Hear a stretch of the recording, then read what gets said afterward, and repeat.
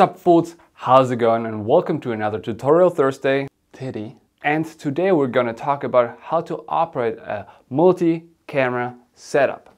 Let's begin.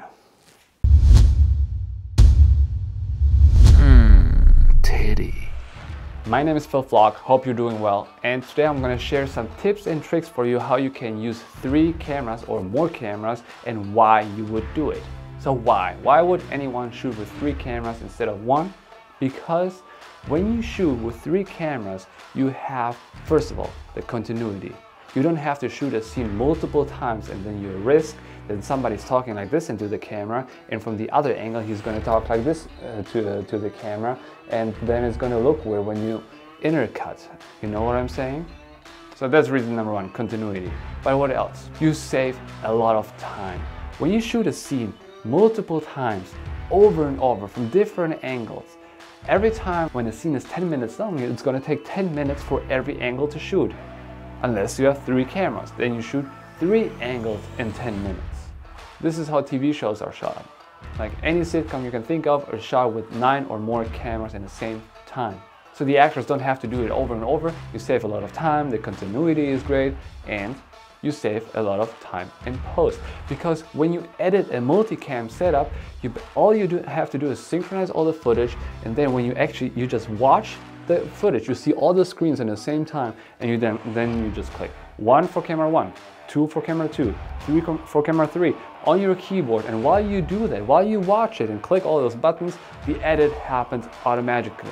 So these are the benefits of shooting a multi-camera setup. There's a few downsides. For example, you could shoot another camera by accident. When you shoot this angle and this angle, there could be other cameras in your shot and you obviously don't want this. So this is something to look out for and also you're a little limited when it comes to your camera angles and this is like a big downside but really depends on the kind of shoot you have.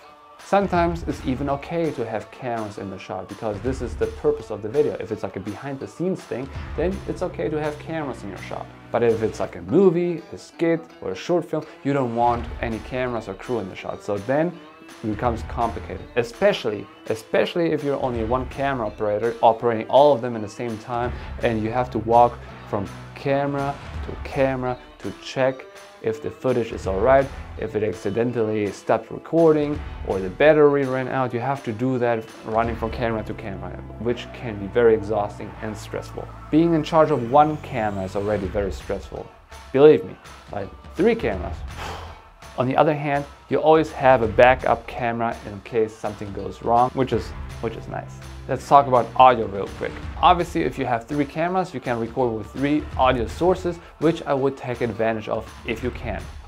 With this camera, I'm recording through the wireless Rode mic into, like right here, I have a wireless mic right here. This one has a shotgun mic on top, okay? And that one has no mic on top. But let's say I talk to this camera and I'm like nervous, I'm scratching my neck and you, you hear that my sound is terrible, but then I can just use this sound instead because I messed up here. So I can just use this sound from this camera. So even though I am touching this and and it sounds terrible, you can use this audio to save the sound. And if both of them fail, you still can use this sound, which is not great. It's very echoey, it's very far away, but it works. It's still there having something is better than not having anything like this. Let me just show you what I'm pointing at so you have a better idea. This is my camera, this is the Rode mic, um, uh, the wireless mic, this is a shotgun mic, and this has no mic. So this is my setup here. Okay, a few extra tips when it comes to the cameras. If you can, it's always great to have the same camera brand. To have three FX3s would be great, uh, but it's very expensive. No, nobody can afford that. So I have right now, I have the FX3, the Sony 7S3, the Sony 7 III. So all those three cameras are very similar. So I'm fortunate, to, so it's going to be easier to have the same looks on all of them. All of them shoot in S-Log3 right now, so it's the same color profile, which is always helpful. All of them have a shutter speed of 150th and an f-stop of 2.8 and those two cameras have an ISO of 640 This one unfortunately can shoot in 640. This one is on 800. So in post, I will need to decrease the brightness on this camera a little bit. But if you don't have three huge as Sony cameras at home, but maybe you and your friends, all of you guys have an iPhone, you can do the same thing. Shoot in the same time, and then in post, you're gonna have it way easier. Shoot three cameras in the same time. And it's way easier if you don't have enough people available, put the cameras on tripods like I did. But if you have three camera operators or people who can hold the camera available, just shoot in the same time. And then, then in post, you can just edit way faster, no continuity issues, and the edit is going to be way faster and the shoot is going to be way faster too. One little tip, when it comes to audio syncing, it's always helpful to have a slate uh, like I have there in the background. Write something on it, something like Infancinema production day two, scene one, take five. You see those thumbnails and it's way easier to organize your footage and then just slate it, then you can synchronize the footage in post.